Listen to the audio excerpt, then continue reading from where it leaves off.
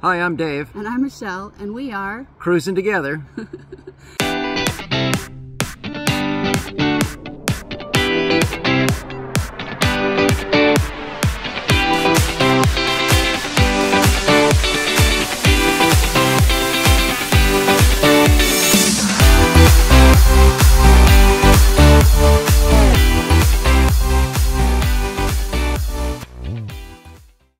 We just started our channel. We're from the Inland Empire between San Bernardino and Palm Springs. And I work for a major utility company in California. And I work for a school district doing HVAC. We have two adult children, Jacob and Austin. And uh, about 10 years ago, in 2003, I was diagnosed with breast cancer. Um, I beat it, um, still a survivor after almost 10 years, or over 10 years now. And uh, at the time, after everything was kind of said and done, we decided that we were going to try to retire early and um, hit the road and do some traveling. We weren't sure what kind of traveling, but we knew we wanted to do something exciting. Just remember that tomorrow's never promised, and so we wanted to take advantage of the days that we have. Started following YouTube uh, after the 10 year, well, not after 10 years, probably about five years after she was diagnosed and uh, uh, following KYD and different full-time RVers, we were looking at if this is a possibility that we can go out and uh, make this a living, a full-time living.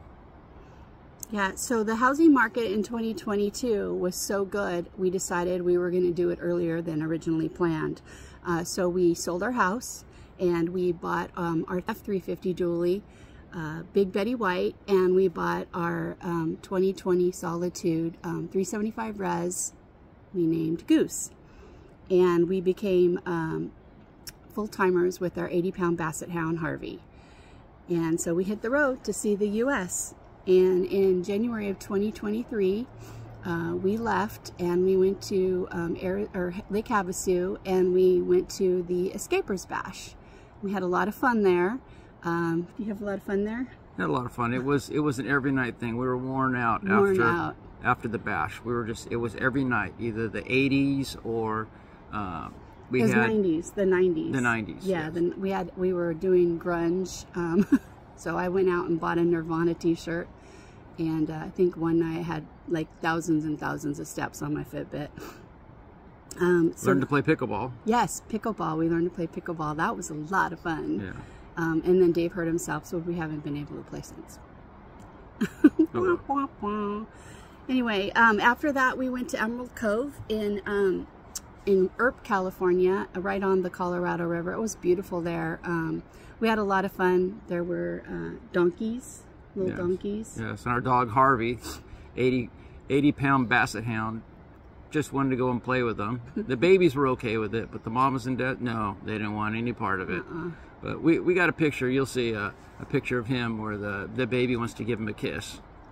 Um, at the end of February, uh, we got a call from our youngest son, Jakey, um, and uh, he had a lump on his neck, so he was worried and, and he needed to go find out, get a biopsy, and make sure that it was nothing. So we, we went back home, um, which wasn't very far away, but we went back home, and uh, luckily everything was good. Um, praise God.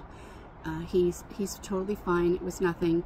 Um, but we had to go back for our wedding, uh, our son's wedding, um, actually his reception. He got married in 2020. His wedding was um, originally scheduled for April 6th of um, 2020. And of course, two weeks before his wedding, all you know what hit the fan. And so um, he was not able to have his big wedding. But he did get married in the backyard of his in-laws. It was a beautiful little ceremony.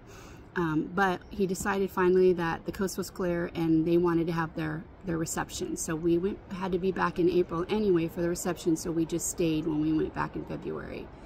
And uh, we went to the wedding and it was beautiful and um, Beautiful venue. Nice Yes. small venue. It fit perfectly for the wedding, for the guests that were there. And uh, you'll see some uh, pictures and videos from that. Yes. Okay. So after the wedding, we hit the road finally on April 12th, and we've traveled. Um, we're on the coast of Oregon now. We're in Newport.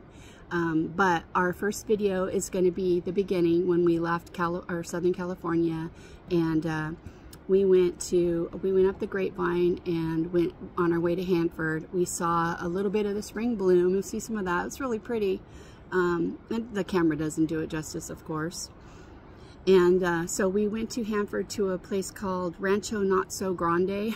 it was a harvest host just for the night to kind of cool off and relax on our um, drive up the coast or up to um, Northern California the next day. So what what do you think of Rancho Not So Grande? I liked it. The fact that he gave us the tour and uh, we got to do some wine mm -hmm. tasting from uh, his berries that were homegrown there. And uh, I, I don't like wine, but I like fruit wines, and that's what he did. He made wines out of the fruit he grew there, and they were actually pretty good. Yeah. Then we we went pick strawberries, and well, that was probably wrong on the farmer's part because he said go ahead and eat some while you're picking. So I believe I probably ate 20 of them while I was picking, but they were very good, very juicy, very sweet. And there were three types of them, and it was it was really good. I really enjoyed it. Harvey loved walking through the blueberries, and uh, you'll see a picture of him where he's standing in uh, the orchard uh, just enjoying himself. And that was that was a great first stop for a harvest host I thought. Yeah it was it was nice and everyone was super nice. I get a little nervous because you know you never know what the people are gonna be like. They may you know but he was su super nice and we ended up buying some wine and of course the strawberries and then we bought he also um, raised and butchered chicken. So we bought some fresh chicken meat and we bought some jam that he made. And oh, we bought a blueberry pie that he, they made and, and we, uh, we thoroughly enjoyed that pie. Who was the first original owner of the house? Oh yeah, the house that he lived in um, was actually owned by Gottschalk, the guy who owned the Gottschalk's grocery stores. Um, so he, there's a lot of history there too. It's pretty cool. Um, so from there, we um, hit the road towards Northern California. Our next day was uh, near Marysville, California. We stayed at um, Lake of the Springs Thousand Trails. Um, it was really pretty. We came in, lots of um, greenery and forest, and we kind of went down into the canyon, and that's where we camped. Um, there was a lot of wildlife there, huh? Yeah, constantly coming into our site yeah. every day. It didn't matter if Harvey's bed was there; they went, they'd sniff it out, and they just walked. Mm -hmm. You'll see pictures of deer. them, the, the yeah. deer that they they just walked down, and it was their home. Yeah, and then there was a woodpecker. Um, we called Woody, and he was like pecking out the tree the whole time we were there, like every day, all day long. Um, and I got some video of that. And then there were um, some little, I'm not sure what kind of birds they were like, but they had blue in them. So I don't know, blue jay or bluebird. But um, they came and sat on the picnic tables and they would sneak food right off your plate if you let them. Um, and then of course the deer. So, um, and the deer didn't face Harvey at all. He, no. he walk out with the deer and he'd be like, oh, hi, what's up, big dog? he'd walk right up towards them, just you wouldn't even acknowledge that they're there on on his mountain. He thought it was his, but it was actually just you'll see like 15 to 20 of them just walking through. Yeah, and uh, and when we first got there, um, we found a really great spot, uh, right nestled in the wood, um, but enough where you could look out almost every window and not see anything, um, any other RVs or anybody. Um, and Harvey, he was so worn out after the drive. Um, yeah. Um, so we, um, our lake, the, there is a lake there, um, Lake of the Springs, but our lake was closed. Yeah, they're doing they're doing a valve repair at the bottom of the dam, so they got to redrain it to uh, get it fixed. So it's going to take a little while for them to do. So um, we um, it was supposed to rain about a day or two after we got there. So we made quick to go to um, Lake Collins, the nearest, next nearest lake, which was about a mile away. It wasn't very far at no, all. No. And um, we went there and uh, we sat on the lake for about an hour and then the clouds came in and we were like, okay, it's too cold to sit out here now. All right.